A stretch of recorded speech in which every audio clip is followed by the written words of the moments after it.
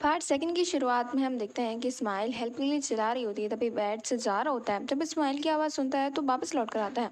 यहाँ पर वो शराबी बंदा उसे ज़बरदस्ती कर रहा था। इस्माइल अभी भी हेल्प के लिए चिल्ला ही रही थी इतने में ही बैट्स वहाँ पर आता है। वो उस बंदे को स्माइल से दूर करता है। यहाँ पर वो स्माइल को अपनी शर्ट उतार कर देता है। क्योंकि उसकी शर्ट फट जो गई थी।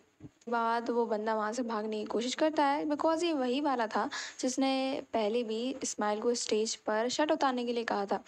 यहाँ पर बैट उसे काफ़ी पंच मारता है और उसे कहता है कि उसकी हिम्मत कैसे हुई एक बेचारी अकेली लड़की पर ऐसे जुल्म करने की। इस्माइल के चेहरे पर उसे चोट भी लग गई थी और वो काफ़ी डरी हुई हुई थी। तभी वैट्स कहता है कि, क्या तुम ठीक तो हो? इसके बाद अपनी बाइक पर बिठाकर उसे घर छोड़ने के लिए जाता है। तभी इस्माइल कहती है कि, अगर वो अभी घर गई तो ऑनी उसे छोड़ेगी नहीं। बिकॉज़ अगर वो उसे ऐसी हालत में देखेगी तो उसे पक्का पूछेगी कि वो कहाँ पर थी। तभी बैच उससे कहता है कि, वो तुम्हारी बेस्ट फ्रेंड है, वो समझेगी। तभी स्माइल कहती है कि वो मेरी बेस्ट फ्रेंड है, इसलिए मैं उसे अच्छे से जानती हूँ। वो मुझसे इतने सवाल पूछेगी और अगर उसे कहीं पता चल गया कि मैं तुम्हारे साथ यहाँ पर आई हूँ तो बर्ड्स ख़त्म। तभी बैट्स कहता है कि ठीक है तो तुम मेरे घर पर चलो। इसके बाद वो इस्माइल को अपने घर पर लेकर जाता है। यहाँ पर इस्माइल उसके घर को देखती है, तभी बैट्स कहता है कि डरो मत, तुम यहाँ पर आराम से सो सकती हो। बैट्स को तो अभी लिज से मिलने के लिए भी जाना था, अगर वो नहीं जाएगा तो का रिलेशनशिप तो ओवर वैसे भी इतना टाइम हो चुका था तो काफ़ी लेट भी हो रहा था। इसके बाद इस्माइल को कुछ कपड़े पहनने के लिए देता है और कहता है कि मैं भी जाने वाला हूँ। सो तुम यहाँ पर आराम से सो जाना। तब बैट्स कैफ़े के बाहर पहुँचता है तो वहाँ पर उसके ओनर से उसे पता चलता है कि ये कैफ़े तो कुछ देर पहले ही बंद हो गया। और हाँ एक लड़की थी जो यहाँ पर काफ़ी टाइम से बैठी थी, जब तक बैठी रही, जब तक ये बंद नहीं हो गया। और लास्ट टाइम उसने रोना भी स्टार्ट कर दिया था। यहाँ पर बैट्स को अपने आप पर गिल्टी फील होता है कि वो लिस के साथ कितना बुरा कर रहा है। वो उसे इतना प्यार करती है बट उसे वो कभी भी टाइम नहीं दे पाता अपने काम की वजह से। कायरो उसके साथ था में घी डालने का काम तो ऑब्वियसली हो ही जाएगा। यहाँ पर लेस को भी कहीं ना कहीं लगने लगा था कि वो कहीं ना कहीं गलत कर रही है। यहाँ पर लेस घर पर जाती है तो उसका दिमाग वैसे भी ख़राब था तो उससे मिलने के लिए उसके घर के बाहर आता है। वो लिस से गेट खोलने के लिए बोलता है, पर लिस काफ़ी ज़्यादा गुस्सा और परेशान भी थी, वो गेट नहीं खोलती। बैट्स कहता है कि मैं जब तक नहीं जाऊँगा, जब तक मैं तुमसे मिलना लूँ, प्लीज़ एक बार खोल दो, मुझे ज़रूरी काम था। यहाँ पर लिज फिर भी नहीं सुनती इसके बाद बैठ, उसके घर के बाहर बैठ जाता है और कहता है कि वो वेट करेगा। काफ़ी टाइम बैठने के बाद लिज का दिल पिघल जाता है और वो गेट खोल देती है। तभी बैट्स भी ज़बरदस्ती घुस आता है और कहता है कि आई एम सॉरी ना, वो मेरी गलती थी। तभी लिज कहती है कि, ऐसा हमेशा नहीं चलेगा बिकॉज़ मैंने तुम्हारा इतना वेट किया, तुम मुझे बता भी तो सकते थे कि एग्जैक्टली तुम कहाँ पर हो, क्या काम कर रहे हो? तभी बैट्स कहता है कि, वो काम अर्जेंट था। यहाँ पर वो बताता है कि दरअसल एक लड़की मुसीबत में थी तो उसे उसे बचाना था। तभी लिज कहती है कि हाँ तुम बन लो पहले, तब मेरे पास आना। तभी बैट्स कहता है कि नहीं, ऐसा नहीं है। और आज उनकी टू ईयर एनिवर्सरी भी थी। लिज का गुस्सा होना तो बनता ही है। तभी लिज ने शुरुआत में ही बैट से प्रॉमिस लिया था कि वो उसे कोई बात नहीं छुपाएगा। और ये बात तो उसके लिए मज़ाक नहीं है। इसके लिए रिलेशनशिप बहुत ही ज़्यादा मैटर करता है। अगर तुम प्ले बॉय हो तो तुम पहले ही बता दो। पर बैट्स भी उसे काफ़ी ज़्यादा पसंद करता है और दो साल से उनका रिलेशनशिप चल रहा है। बैट्स उसे गिफ्ट देता है। तभी लेस कहती है कि ठीक है, पर मुझे इसकी स्मेल ठीक नहीं लगी। यहाँ पर लेज वही वॉच उसे गिफ्ट करती है, जो कि वहाँ पर वो देख रही थी कायरों के साथ। तभी यहाँ पर बैट्स कहता है कि काफ़ी अच्छी है। लेस कहती है कि यूनिवर्सिटी का सरप्राइज़ प्लान तुम्हारे घर पर सेटअप किया है। तो तुमने देखा नहीं तो चलो हम वहाँ पर देकर आते हैं। तभी यहाँ पर बैच उससे कह रहा था कि हम घर नहीं जा सकते, पर लेजर नहीं मानने वाली थी, उसे कहीं ना कहीं शक भी था।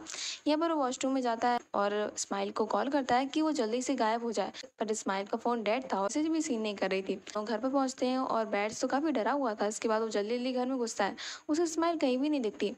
जब लेजर अंदर आती है तो उसे भी सब कुछ साफ़ सुथरा दिखता है। जब वो वॉशरूम में जाती है तो यहाँ पर सब कुछ एकदम सेटअप पहले से था। यहाँ पर काफ़ी रोमांटिक सा माहौल था ही और इन दोनों की एनिवर्सरी काफ़ी अच्छे से सेलिब्रेट तो हो ही रही थी। तो अपने गिफ्ट एक्सचेंज करते हैं। यहाँ पर लेज कहती है कि, तुम ठीक तो हो ना? तभी बैट्स को ये बात सता रही थी कि आखिर स्माइल गई तो गई कहाँ? उसे ज़मीन खा गई कि आसमान निकल गया? क्योंकि वो आस रूम में और पूरे घर में भी नहीं दिख रही थी। उसे लेस से ज़्यादा स्माइल की चिंता हो रही थी कि आखिर वो गई तो गई कहाँ? तभी कहती कि क्या तुम मुझसे कुछ छुपा रहे हो? तभी बैच उसे बता भी नहीं सकता था। यहाँ पर उसे मैसेज आते हैं तो छिपकर मैसेज को देखने लगता है। लेस कहती है कि मुझे लगता है कि ये सब ठीक नहीं चल रहा है। हमें अब रिलेशनशिप को ख़त्म कर देना चाहिए। तभी यहाँ पर बैट्स कहता है कि ऐसी बात नहीं है, मैं सीरियस हूँ इस बात के लिए। तभी लिस कहती है कि ठीक है तो हमें थोड़ा ब्रेक लेना चाहिए। मैं भी थोड़ा ब्रेक लेना चाहती हूँ। इसके बाद वो वहाँ से चली जाती है। दरअसल वो इमोशनल भी काफ़ी थी। कहीं ना कहीं उसे यही लग रहा था कि बैट ने उसे आखिरकार चीटी कर दिया। अब लिस्ट तो चली गई। अब बैट्स निकलता है स्माइल को ढूँढने के लिए। यहाँ पर उसे रास्ते में कायरो भी मिल जाता है क्योंकि वो उसकी कार के सामने आ गया था। तभी कायरो कहता है कि देख कर चलो भाई। इसके बाद कायरो अपने क्लब में जाता है। यहाँ पर स्माइल भी उसी क्लब में छुपी हुई थी बिकॉज़ उसके पास एक लौता ऐसा ठिकाना था जहाँ पर वो रुक सकती है। यहाँ पर कायरो से नोटिस कर लेता है बिकॉज़ उसकी हलचल तो थी। तभी यहाँ पर इस्माइल उससे बात छुपाने की कोशिश करती है कि आखिर वो यहाँ पर क्यों है? तभी कायरों को कॉल आ जाता है, इसके बाद अपने काम के लिए चला जाता है। यहाँ पर इस्माइल उसे रोक भी नहीं पाती। दरअसल उसका पूरा मूड था कि वो नाइट आज कायरों के साथ स्पेंड करे। तभी कायरों को किसी और से नहीं, बल्कि लिस्ट से कॉल आया हुआ था। एड्स भी पागलों की तरह स्माइल को ढूंढ रहा था, यहाँ पर वो स्माइल की फ़ैन के घर पर भी जाता है, तभी वो कहता है कि, क्या स्माइल यहाँ पर है? दरअसल मुझे उसे कुछ इन्फॉर्मेशन देनी है। वो तो उससे बैट्स को देख कर ही खुश थी और कहती है कि, क्या तुम रियल हो? क्या तुम सच में आए हो? तो बैट्स कहता है कि, क्या वो नहीं है? तभी वो कहती है कि, नहीं, वो तो आई ही नहीं, वो किसी काम से बाहर थी। तभी बैट्स कहता है कि, आखिर लड़की गई तो गई कहाँ? यहाँ पे लेड्स कायरो से मिलती है, कायरो उसे क्लब लेकर जाता है। यहाँ पे लेस का दिल टूटा तो था, इसके बाद वो काफ़ी ज़्यादा ड्रिंक कर लेती है और उसके बाद वो डांस भी करती है। यहाँ पे कायरो उसे उठा कर ले जाता है। यहाँ पे लेस काफ़ी ज़्यादा परेशान भी थी। इसके बाद वो उसे अपने घर पर लेकर जाता है। तभी काफ़ी ज़्यादा ड्रंक थी। कायरो कहता है कि तुम्हें उससे ओवरकम हो जाना चाहिए। लेस कहती है कि तुम नहीं समझोगे, जब किसी का दिल टूटता है ना तो उसके दिल की फीलिंग कोई नहीं समझ सकता। तुम भी नहीं। यहाँ पर कायरो उसे किस करता है? रोमांस यहीं से स्टार्ट हो जाता है। ये सीन यहीं पे कट होता है। लिस की सुबह आँख खुलती है तो देखती है कि उसके कपड़े चेंज है। तभी वो कायरो से कहती है कि तुमने मेरे साथ क्या किया? तभी कायरो कहता है कि तुम्हें कुछ भी याद नहीं है। ओ, तुम काफ़ी ज़्यादा ड्रंक थी ना बट नाइट काफ़ी अच्छे से भी थी तभी यहाँ पर लेज उसे धक्का देकर वहाँ से चली जाती है। यहाँ पर स्माइल जब अपने घर पर वापस जाती है तभी बैट्स कहता है कि क्या तुम पागल हो? तुम्हें पता भी है, मैं तुम्हारे लिए कितना ज़्यादा परेशान था। स्माइल कहती है कि इट्स ऑल राइट वो ठीक है। तभी बैट्स कहता है कि तू बताकर तो जाना चाहिए। इसके बाद वो कहता है कि क्या तुम कायरो से मिली? तभी वो कहती है कि हाँ मिली, पर थोड़े टाइम के लिए। कुछ एग्जैक्टली हुआ भी नहीं। जब वो शावर लेकर बाहर आती है तो यहाँ पर बैठ तो यहाँ पर बैठ, उसके बेड पर आराम से सोया हुआ था बिकॉज़ वो रात भर से सिर्फ़ स्माइल को ही ढूंढ रहा था। तो वो कहती है कि, शुक्र मनाओ कि यहाँ पर आज ऑन ही नहीं है। अगर वो तुम्हें देख लेती तो सच में या तो तुम्हें पागल कर देती या तो मुझे। इसके बाद इस्माइल नीचे अपना बिस्तर लगाकर लेट जाती है। यहाँ पर कायरो ऊपर से नीचे आ जाता है और यहाँ पर वो कहता है कि तुम चली क्यों गई थी? अचानक से तभी वो कहती है कि जब वो वॉशरूम में गई तो उसने इतना अच्छा सेटअप दिखा। इसके बाद उसने सोचा कि वो तुम दोनों को डिस्टर्ब कर देगी, इसलिए वो वहाँ से चली गई। तो तुम्हें बिना बताए। तो कैसा रहा माहौल? लेकिन बेचारे बैट्स के बाद कोई शब्द ही नहीं थे बताने के लिए कि लिस्ट तो उसे ब्रेक लेकर चली गई। बैच उसके काफ़ी ज़्यादा करीब आ जाता है और कहता है कि ठीक है, अब हमारा अब हमारा नेक्स्ट लेसन स्टार्ट होता है। तुम सबसे पहले तुम्हें अगर किसी करीब आना है तो तुम्हें उसे हक करना होगा। मेरे साथ ट्राई करके देखो। तो ये उसे हक करती है। यहाँ पर बैच उसे जस्ट किस करने वाला ही होता है। इतने में ही ओनी का कॉल आ जाता है। ओनी उसे कहती है कि जल्दी गेट खोलो। दरअसल ओनी आज डे आउट पर गई हुई थी और उसे लग रहा था कि ओनी वापस आएगी ही नहीं। बट ओनी तो टाइम से पहले ही वापस आ गई। अब इन दोनों के पास छुपने तक का टाइम ही था। इसके बाद बैट जल्दी जल्दी से लेट जाता है बेड पर ही। तभी यहाँ पर स्माइल कहती है कि तुम करना क्या चाहते हो?